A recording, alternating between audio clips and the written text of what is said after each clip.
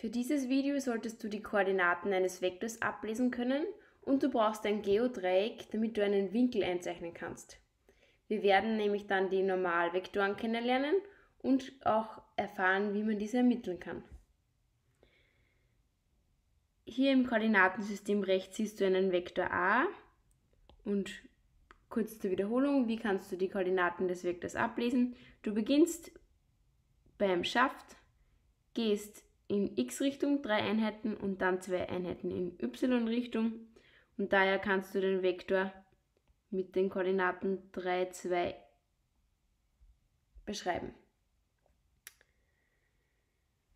Wir haben hier in unserem Beispiel den Vektor v mit den Koordinaten 4, 2 gegeben. Und wir wollen diesen jetzt um 90 Grad gegen den Uhrzeigersinn und im Uhrzeigersinn drehen. Bevor du das Video passierst, noch ein kleiner Hinweis, wie was hier zu machen ist.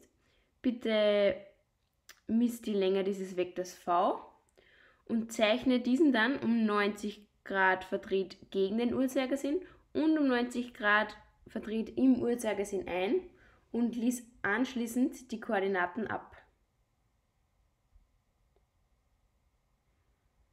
Wir vergleichen. Ich habe hier schon die beiden Vektoren eingezeichnet. Um 90 Grad gegen den Uhrzeigersinn liefert uns diesen Vektor VL. Also hier sollten 90 Grad dazwischen sein, genauso wie hier. Und wenn wir jetzt die Koordinaten ablesen, bekommen wir minus 2, 4.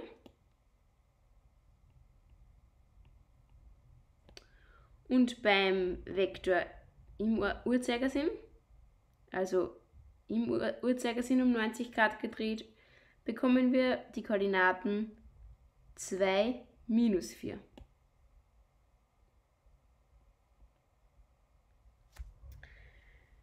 was man hier erkennen kann, es wurden einfach die zwei Zeilen vertauscht, weil unser ursprünglicher Vektor war ja 4, 2. Es wurden die Zeilen vertauscht und dann jeweils ein Vorzeichen geändert, was du auch hier siehst. Wenn uns unser Vektor v durch v1, v2 beschrieben wird,